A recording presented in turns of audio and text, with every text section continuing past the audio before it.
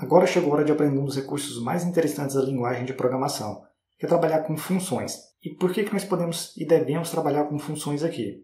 Funções, nós podemos ter pequenos trechos de código que podemos reaproveitar, e esses pequenos trechos de códigos podem fazer responsabilidades específicas. Então basta simplesmente uma nomenclatura com o escopo da função, e essa função vai fazer uma operação que vai facilitar nosso desenvolvimento de um projeto, de um sistema, enfim. Então agora eu vou mostrar na prática como que utiliza a função e você vai entender ao final dessas aulas aqui quais são os benefícios de utilizar uma função.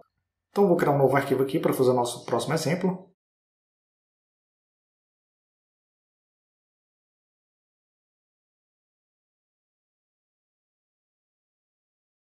Para esse exemplo aqui, o que eu posso fazer? Eu vou criar uma funçãozinha. A obrigação dela simplesmente vai ser imprimir um valor qualquer, só para demonstrar como funciona a função. Então, para criar uma nova função no PHP aqui, basta você utilizar a palavra reservada function.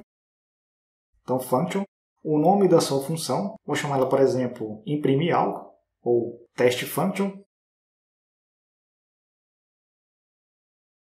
Sobre a nomenclatura de nomes aqui, é interessante que você trabalhe com o padrão, que em meu case, começando com minúsculo, e para cada derivação de nome você coloca a letra em maiúsculo. Isso é uma boa prática. Você obviamente poderia colocar underscore, que é o underline, funciona também do mesmo jeito, mas eu sugiro que você já trabalhe com as boas práticas, começando com letra minúscula, e para cada derivação de nome, coloca a primeira letra da derivação do nome com maiúscula. Então aqui eu passo parênteses e passo chaves aqui.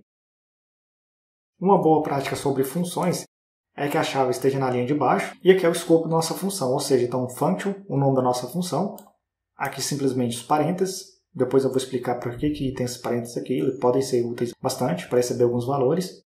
E aqui é o conteúdo da nossa função, ou seja, tudo, tudo que estiver dentro desse bloco aqui, entre nossas chaves aqui, é o conteúdo da nossa função. Ela pode fazer várias coisas, ela pode imprimir valores, ela pode simplesmente fazer um cálculo matemático complexo, ela pode simplesmente imprimir algo de uma forma especial, enfim. Então vamos simplesmente fazer um eco aqui dentro.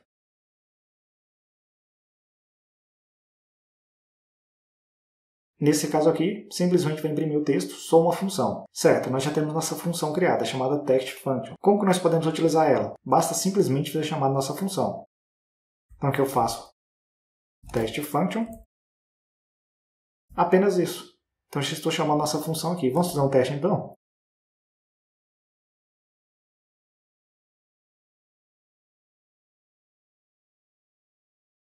Veja que imprimiu com sucesso. E se eu ver aqui e chamar várias vezes, que é o objetivo da função, centralizar uma responsabilidade de que eu possa chamar ela várias vezes, veja que imprimiu essa mesma mensagem aqui várias vezes.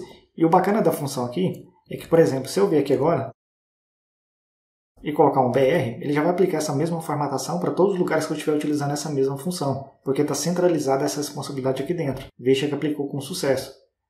Outro ponto sobre função é que você não pode definir uma função com o nome de palavra reservada, como por exemplo, function é uma palavra reservada, string é uma palavra reservada, array é uma palavra reservada, int é uma palavra reservada. Então se eu colocar um nome que não é coerente aqui, ele vai dar erro. Então é interessante que você quando criar uma função, Escreva aqui no nome dela qual é a funcionalidade dela. Até mesmo para você, simplesmente o fato de utilizar essa função, saber o que ela significa e ter um nome realmente coerente com a funcionalidade que ela tem. Já falando de boas práticas aqui também, não é recomendado, em alguns casos, obviamente, que você dê um eco dentro de uma função. O interessante é que você retorne uma string, por exemplo, nesse caso que estamos retornando uma string. Então faço return dessa string aqui.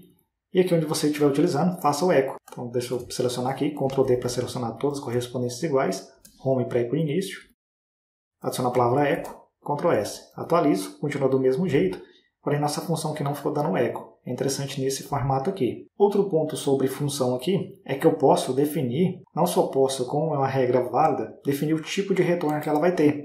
Por exemplo, essa função como é uma função que tem um retorno, então eu posso passar aqui dois pontos, e falar qual é o tipo de retorno que ela vai ter. Por exemplo, retorno do tipo boolean, são retorno do tipo integer, são retorno do tipo array. No caso aqui vai ser um retorno do tipo string. Então essa função nossa está retornando string. Se eu atualizo aqui, está do mesmo jeito.